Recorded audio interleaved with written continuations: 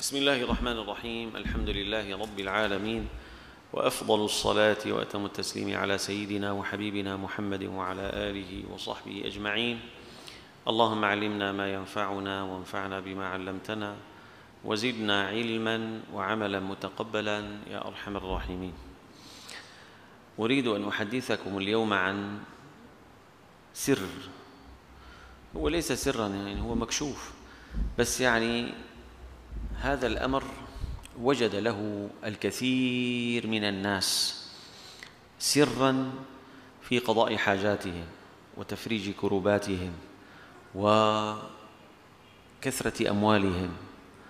سبحان الله خلال هذا الأسبوع الماضي خلال هذا الأسبوع الماضي التقيت مع ثلاثة أشخاص. أذكر حادثة واحدة من هؤلاء. من عامة الناس. صار معه ما صار مع عامة الناس من خسران ماله وفقد معمله كان عنده معمل صغير في بعض المناطق المتضررة. فكان يسير في اتجاه يعني متسارع في النمو الاقتصادي. فجأة مع بداية هذه الأزمة انتكس وعاد إلى الصفر. والحقيقة يعني حدثني عن مآسي عاشها خلال فترة يعني هذا هذه السنوات. ثم إن الله عز وجل ألهمه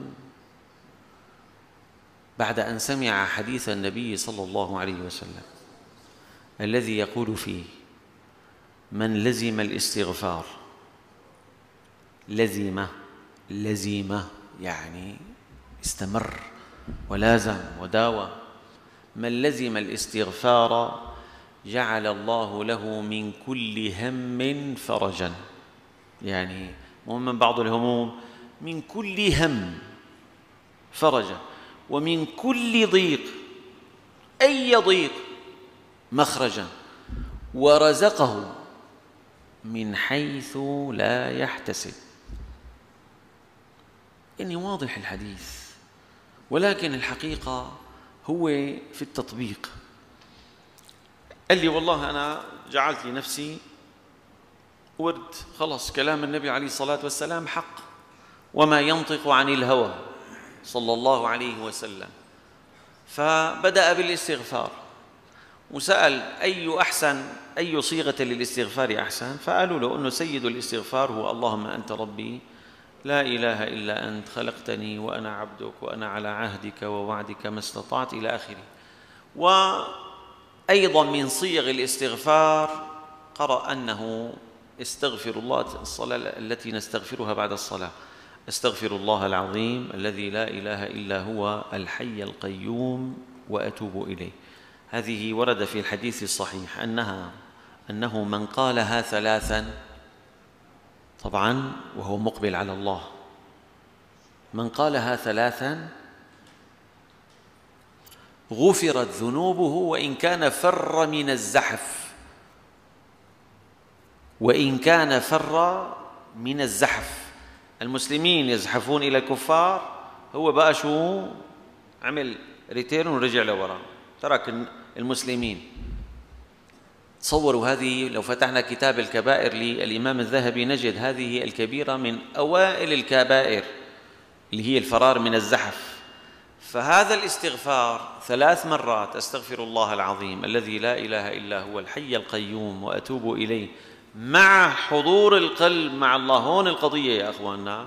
الله سبحانه وتعالى يغفر له ذنوبه وإن كان فر من الزحف.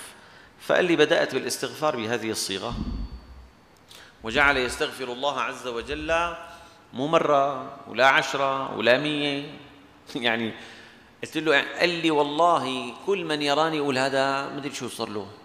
من كثر ما شافني حامل المسبحة أستغفر الله العظيم الذي لا إله إلا هو الحي القيوم وأتوب إليه. أستغفر الله العظيم الذي هيك مسبحة اثنين ثلاثة عشرة عشرين مية.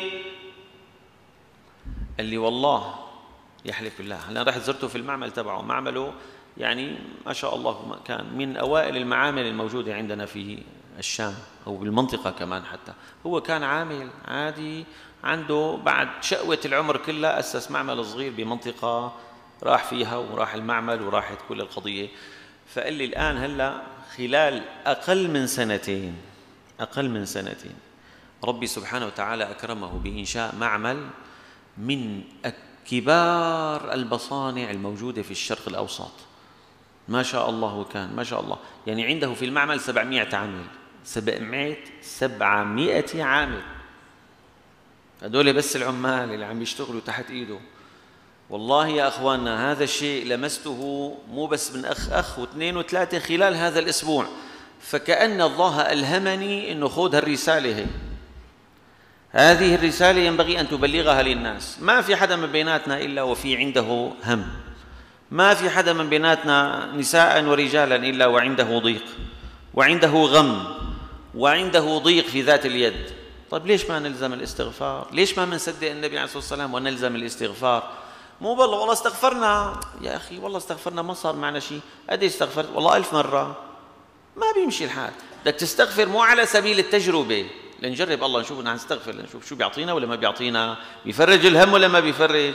بدك تمك تستغفر لحتى يحصل المراد لأنه المراد قطعا حاصل بس هي مسألة وقت مسألة وقت. فداوم على هذا الاستغفار. أحدهم شخص آخر قال لي عرفت السر الإلهي؟ قلت له شو هذا؟ قال لي المفتاح تبع باب السماء. قال لي أي شغلة بدي إياها أي شيء أريده من الله. بالاستغفار. بدون أي شيء خلص حط بباله بده شغلة معينة خلاص. الاستغفار. بداوم على الاستغفار لحتى تتحقق. وقال لي أحيانا في أمور تتطلب أحيانا بدها بدها أشهر لحتى تصير. الله عز وجل بيقضي لي إياها بأيام. والله. يعني هنا نحن كنا نسمع قصة يذكرها مشايخنا. عن آه، الإمام أحمد بن حنبل رضي الله عنه. إمام أهل السنة آه، مرة من المرات كان في طلب العلم فراح على مناطق بعيدة يريد أن يطلب العلم ويسمع من العلماء. فوصل إلى منطقة ما حدا بيعرفه فصلى العشاء في مسجد والدنيا كان فيها برد شديد. فبعد ما خلصت الصلاة جلس في المسجد يريد أن ينام فيه. عم بيصلي عم بيصلي عم بيصلي فأجا القيم تبع المسجد. القيم تبع المسجد. تفضل. خير لو والله بتفضل. أنا مسافر أنا رجل غريب أنا ابن سبيل. قال له ما في مجال نحن بنسكر شو بيعرفني؟ بركي أنت كنت لص سرقت لنا الأشياء اللي موجودة بالجامع والحصر والسجاد. قال له لك والله أنا يعني مالي لص أنا طالب علم. قال له ابدا. ما طالع ما طلع سيدنا أحمد. يعني ما في له مأوى ما بيعرف حدا في هذه المدينة وهذه القرية. شحطوا القيم للمسجد هيك دفش لحتى طالعوا برات الجامع وأغلق الباب وانتهى الموضوع. مين رأى هذا الأمر؟ فران يعمل بفرنه وبالخبز قبالة المسجد. تفضل تفضل تفضل. قال له والله قلعوني من الجامع قال له تفضل تعال طول الليل عندي فاتح المحل. بنيمك عندي وعود ارتاح والمحل دافي الفرن شغال وللصبح. فالإمام أحمد جلس عنده. كان طبعا في بداية طلبه للعلم ما كان أنه الإمام أحمد بن حنبل. قال فوجده يستغفر الله عز وجل كثيرا. طول هالليل عم يشتغل بالإستغفار. استغفر الله العظيم استغفر الله العظيم. سيد الاستغفار عم بيفوت الخبزة بالفرن ويطالعها استغفر الله العظيم. ينشرها استغفر الله العظيم. فقال يا هذا ما رأيتك تكثر؟ يعني تزيد عن الاستغفار. كله استغفر الله استغفر الله استغفر الله. قال والله هذا وردي من سنين ولقد رأيت له أسرارا عجيبة. قال له شو السر اللي رأيته في هذا الإقبال على الاستغفار؟ قال ما دعوت الله بشيء إلا أجابه. ما طلبت شيء من الله إلا حققه لي. قال له بس بيني وبينك في شغلة واحدة والله أنا عم بطلبها من الله وما كانت تتحقق. خير. قال له والله أسأل الله عز وجل منذ فترة من الزمن أن ألتقي بإمام السنة أحمد بن حنبل.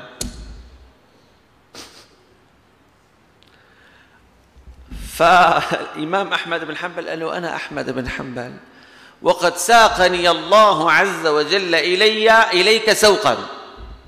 طالعني كرفة من الجامع مشان أنت تشوفني وأنا أحمد بن حنبل. لذلك يا أخواننا والله الذي لا إله إلا هو هذا الأمر أقبلوا عليه. اجعله ورد يا أخي اجعله ورد.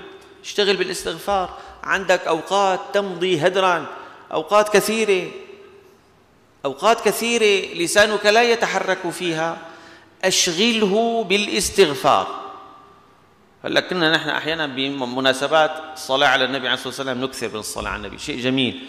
بس الاستغفار دائما هو المقدم وهو الأولى. ليش؟ لأنه الاستغفار هو ممحاة الذنوب.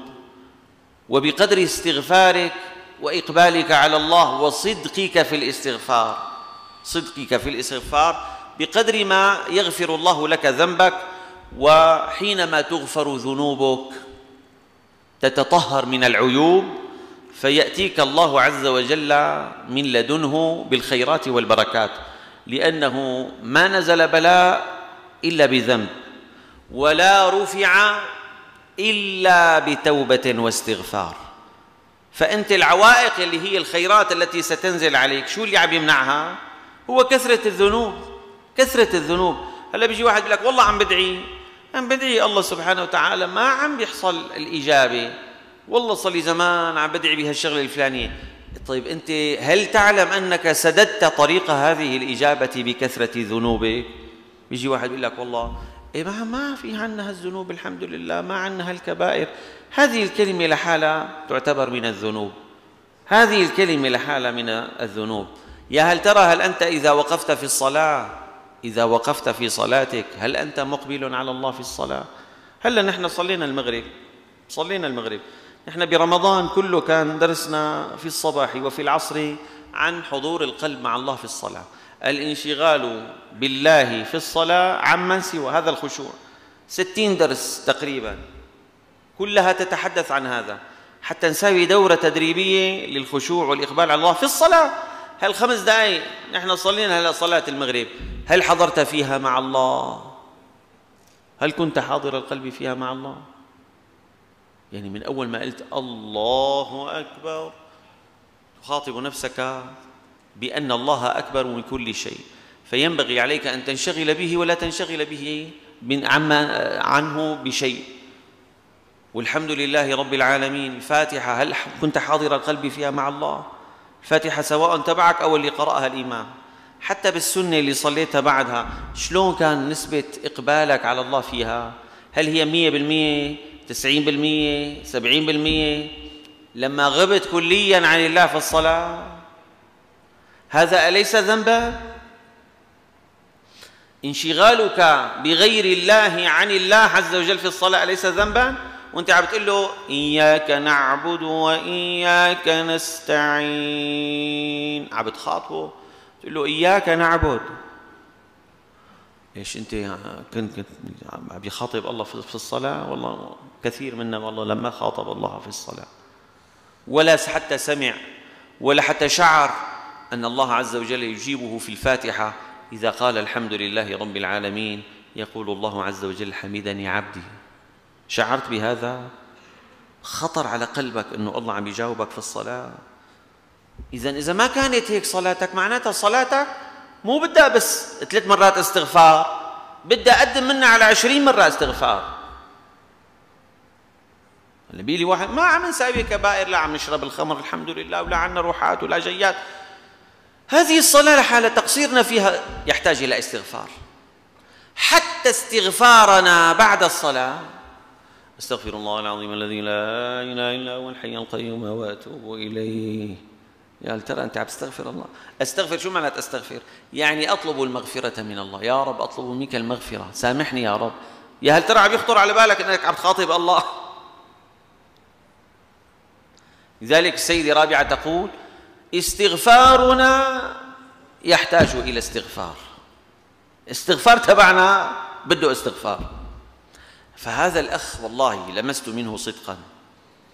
استغفر الله. بس شو اللي صار بقى هلا؟ هات يا دكتور شو صار. بعد ما الله أكرمه وفتح عليه وقال لي ما عاد أعرف الآن يعني شلون بدي آه، شغل الأموال اللي الله أكرمني فيها. نسي موضوع الاستغفار. فوالله لما صار عم بيقول لي إنه أنا والله يعني صرت الآن أشعر بإني قللت ما نسي نهائيا ولكن قل عنده موضوع الذكر. هو عم بيحكي الكلام عم يبكي والله. تنزل دموعه من عينيه إنه أنا قصرت. عم بخجل من الله إنه أنت تميت عم تستغفر لحتى الله أكرمك واعطاك وهلأ يعني تميت أصلي حتى حتى حصل لي. فلما حصل لي قال لي لا إن شاء الله ما بدي يكون هيك. فعرضت عليه عدة أمور مشان يستدرك ما فات.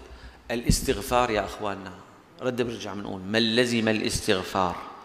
جعل الله له من كل هم فرجا. أي هم؟ أي هم عندك؟ سواء على صعيدك الشخصي في نفسك. في مالك في جسدك.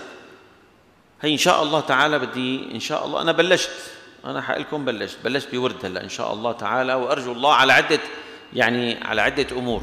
وأرجو الله سبحانه وتعالى يقيني بالله أنه سيحقق إن شاء الله. أي شيء بيصيبك أكثر من الاستغفار. مفتاح مفتاح ما بقول لك هذا مفتاح فلان هو فلان مفتاحه الشغلة الفلانية. إذا بدك تنفتح عليك أبواب الخيرات الزم شو يعني الزم يعني كأنه مع الهواء والنفس. الزم الاستغفار.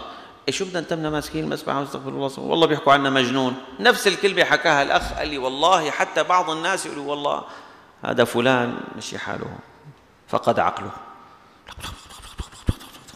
في هنالك حديث عن النبي عليه الصلاة والسلام اذكروا الله حتى يقولوا مجنون. يعني أكثروا من ذكر الله حتى يقولوا شو جن الزلمة؟ حتى في رواية المستهترين بذكر الله يعني وصلوا إلى درجة يعني الإكثار من ذكر الله. فهلأ خلينا يا شباب كل واحد على هو همه وعلى هو حاجته عند الله سبحانه وتعالى يكثر من الاستغفار. ما بدك تمسك المسبحة بدون مسبحة. لحالك شغل لسانك بس سبحان الله هذه تسمى شو؟ المسبحة. شو يعني تذكرك بالتسبيح؟ تسمى مذكرة. تذكرك بالله سبحانه وتعالى. لذلك أحد كبار أولياء الله الصالحين وهو على فراش موته رأوه يحمل المسبحة. قالوا له هلا ما شاء الله حاملها. خلص أنت قلبك شغال بالذكر. قال شيء وصلنا به إلى الله فمن الوفاء الا نتركه حتى نلقاه. شيء وصلت فيه إلى الله. الذكر الذكر هو طريقك إلى رضا الله سبحانه وتعالى. ومن الذكر الاستغفار. فاذا نحن هلا بعد الربع ساعة حكينا بدنا نأكد على الاستغفار. بقدر همك وبقدر غمك وبقدر تسكر الأبواب بوشك افتحها بالاستغفار واستنزل الخير من السماء بكثرة الاستغفار. ما حافظين الآية ما هيك؟ بسورة نوح عليه السلام فقلت استغفروا ربكم إنه كان هي أول وحدة إنه الله بيغفر لك ذنوبك بالاستغفار. ليش؟ لأنه أنت عم تطلب منه أنه يغفر لك وأنت صادق. مو بس لسانك شغال. إذا بدك لسانك يشتغل بس من هلأ بطلها. لا تذكر لا لا تستغفر. بدك لسانك مع قلبك. هذا الهدف. عم تطلب من الله أنه يغفر لك. الله الله بيضيمك إذا أنت عم تستغفر لأبيك في الحديث الصحيح قال إن الله عز وجل ليستحي أن يعذب العبد بعد موته وله ابن في الدنيا يستغفر له. قال إذا مات أبوك وأبوك بتعرفوا أنه يعني عم تستغفر له مقصر كان. قال الله بيستحي أن يعذبه. ليش؟ لأنك أنت عم تستغفر لأبوك. إن الله لا يستحي أن يعذب عبده بعد موته وابنه في الدنيا يستغفر له مو بس الله بيستحي عذبه الله يرفع له الدرجة. فقد ورد في الحديث إن العبد ليرفع درجة في الجنة بعد ما يموت. لأنه القبر إما روضة من رياض الجنة أو حفرة من حفر النار اللي هي مرحلة القبر. فيرفعه الله في الجنة درجة. فيقول أي ربي بما هذا؟ ليش رفعوني؟ يعني ما أعرف أنا شو بساوي قال إن ولدك في الدنيا قد استغفر لك. يا سلام. والله لذلك الإنسان وقت بيعرف حاله إنه استغفاره لأبيه وأمه هو سبب في رفعة درجاتهما ويقصر. والله بيكون هذا يعني العقوق راكبة من فوق لتحت. بتعرف إنه لما بتستغفر لأبوك الله بيرفع له درجته. وتستغفر لأمك الله يرفع لها مقامها في الجنة ويخفف عنها العذاب ويصرف عنها العذاب وأنت مقصر. استغفر لك ولوالديك وللمؤمنين والمؤمنات. هذا نوع من أنواع الاستغفار. أنا نصحته لهذا الشاب إنه بس يعني يكثر حتى ما يصير إنسان عنده حالة من الملل. أستغفر الله أستغفر الله أستغفر الله. أستغفر الله أستغفر الله العظيم أستغفر الله العظيم الذي لا إله إلا هو الحي القيوم وأتوب إليه. سيد الاستغفار. استغفار سيدنا يونس. لا إله إلا أنت. سبحانك. إني كنت من الظالمين. عم يعترف أنه كان من الظالمين. ومين؟ يونس. نبي الله. يلي اشتغل بالدعوة سنين. ما حدا آمن فيه. قال لحاله بروح لعند ناس آخرين بركي بيؤمنوا على إيدي. فربنا سبحانه وتعالى حبسه في بطن الحوت لأنه سوى الأمر هذا من راسه ما إجا الوحي قال لحاله بروح لعند ناس تانيين. حاجتهم هدول مل قلبي منهم وهن ملوا مني. فلولا أنه كان من المسبحين للبث في بطنه إلى يوم يبعثون. شو هو كان عم بيقول لا إله إلا أنت. فنادى في الظلمات أن لا إله إلا أنت. هذا التوحيد. سبحانك التسبيح.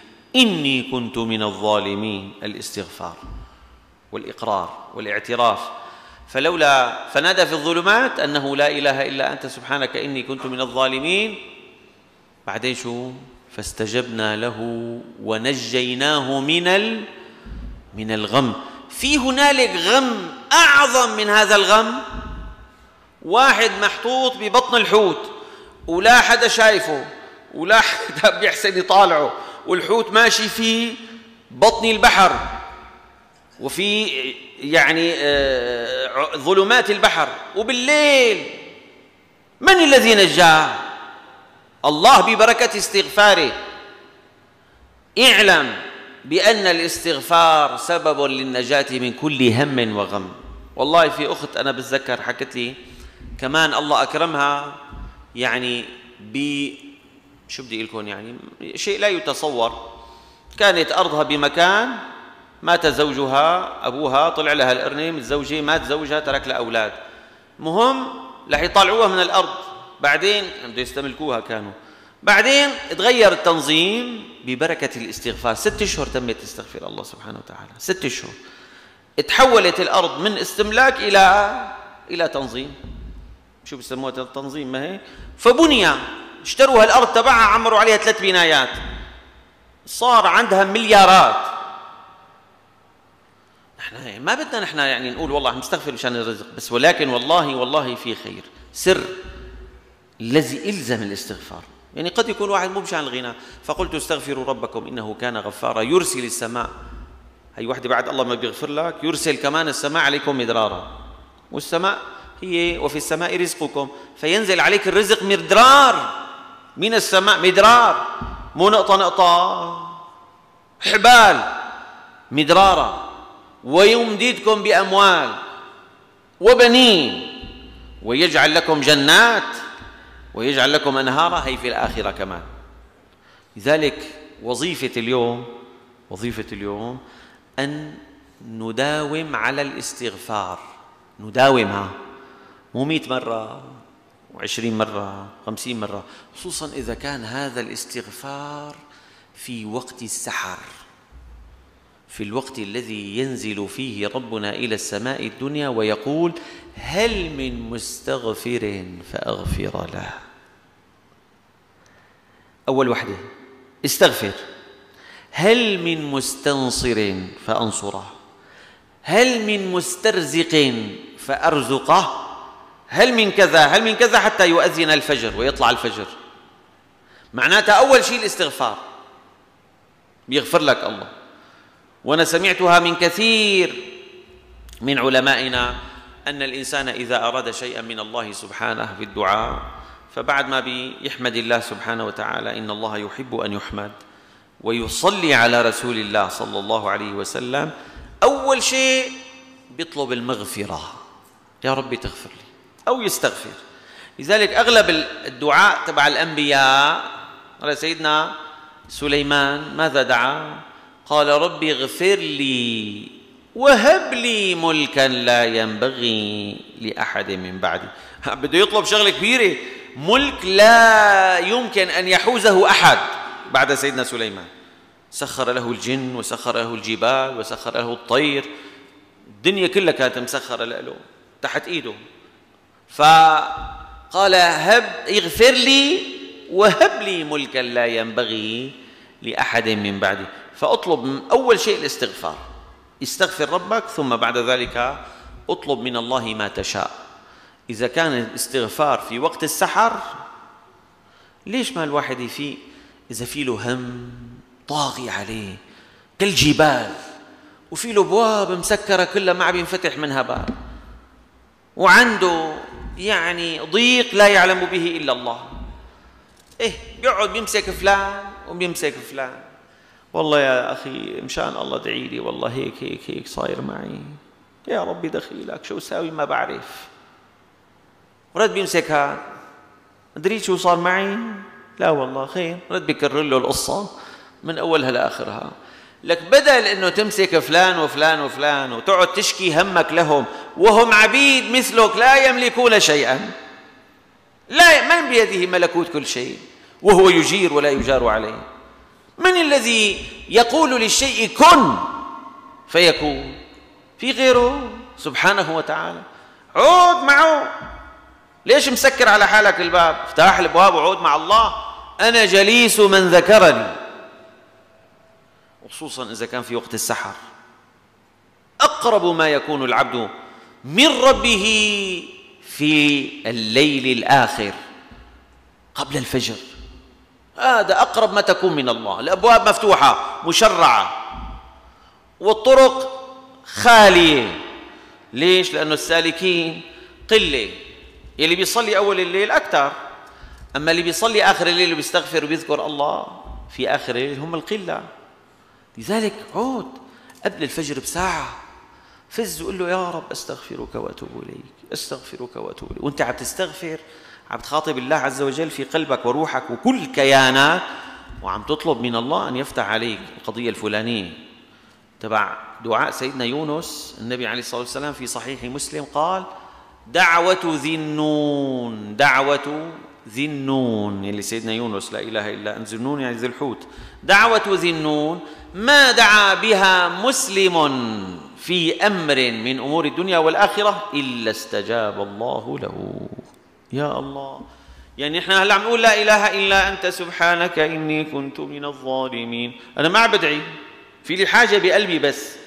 أنا عم بكثر من هذا الاستغفار حتى الله يحقق لي هالحاجة اللي أنا في ضامرها بقلبي. هذا معنى. اذا يستغفر الله وببركة الاستغفار الله عز وجل يكرمه بتحقيق المراد. مين جاهز؟ كلياتنا إن شاء الله ما هي؟ ما فينا حاجات عند الله؟ أي شيء. شغل لسانك. عود لسانك بكثرة الاستغفار. نسأل الله سبحانه وتعالى أن يجعلنا إن شاء الله من المستغفرين والمستغفرات كما ورد في الآية. والحمد لله رب العالمين. اللهم اجعلنا من المستغفرين بجاه رسول الله صلى الله عليه وسلم وبسر الفاتحة. بسم الله الرحمن الرحيم.